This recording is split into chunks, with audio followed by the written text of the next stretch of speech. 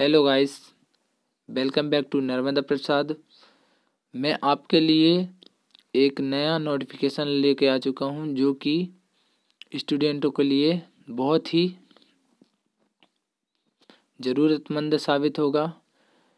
जिन स्टूडेंटों ने अपना एडमिशन करवा लिया है, लेकिन उनके डॉक्यूमेंट्स अभी तक कॉलेज में सबमिट नहीं हुए हैं। यह डेट बार बार चेंज हो रही थी, लेकिन अब इसकी डेट पक्की आ चुकी है। जो कि मैं आपको उच्च शिक्षा का ऑफिशियल नोटिफिकेशन आपको दिखाने जा रहा हूँ।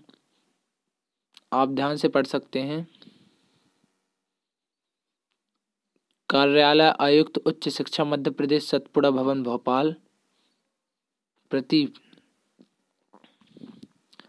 प्रचार समस्त शासकीय अनुदान प्राप्त अशासकीय, निजी अशासकीय महाविद्यालय मध्य प्रदेश विषय सत्र दो हज़ार बीस इक्कीस के अंतर्गत स्नातक स्नातकोत्तर पाठ्यक्रमों में प्रवेशित विद्यार्थियों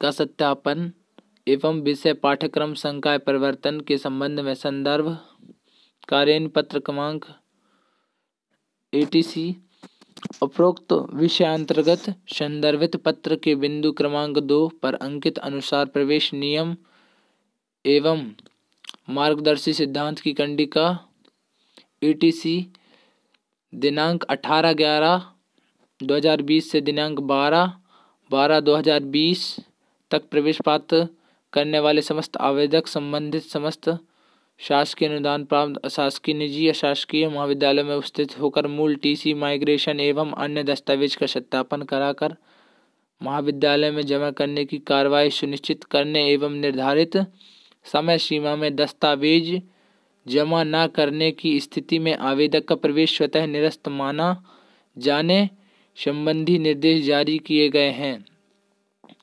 अतः ऑनलाइन ई प्रवेश समय सारणी सत्र दो हज़ार बीस इक्कीस सी एल सी पंचम चरण के परिप्रेक्ष्य में टीसी माइग्रेशन एवं अन्य दस्तावेज़, अन्य दस्तावेजों का सत्यापन कराकर दस्तावेज़ महाविद्यालय में जमा करने की निर्धारित दिनांक 18 ग्यारह में वृद्धि करते हुए दिनांक 24 ग्यारह।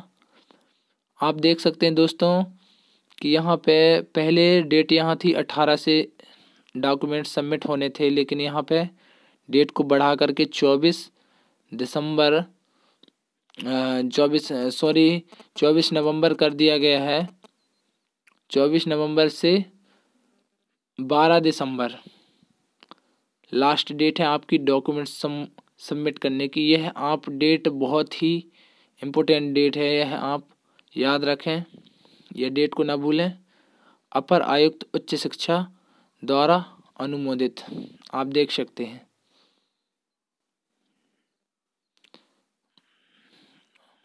ओके दोस्तों।